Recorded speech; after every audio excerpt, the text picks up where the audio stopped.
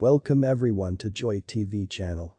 Justin Bieber wore his usual casual look to grab coffee at Community Goods in West Hollywood over the weekend.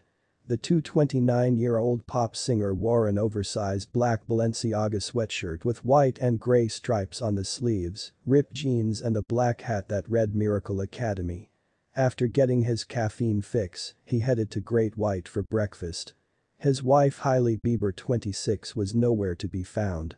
Recently, fans commented on how different the couple's styles were when they dressed up as Flintstones characters for Halloween.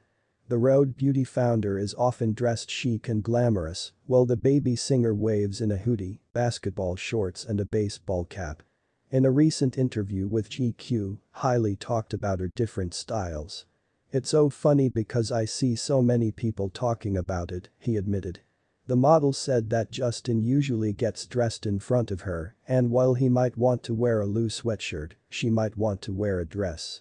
We can't stand here and say, so I'm going to wear this and you're going to wear that, he told GQ.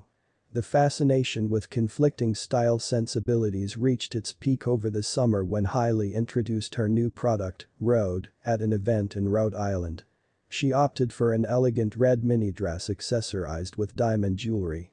Her husband stood next to her on the red carpet, wearing a gray hoodie and shorts, yellow crocs and white socks. He put on a hood, tied it around his face and placed a pink baseball cap on his head. Hailey added that each of them usually wears whatever they feel like wearing.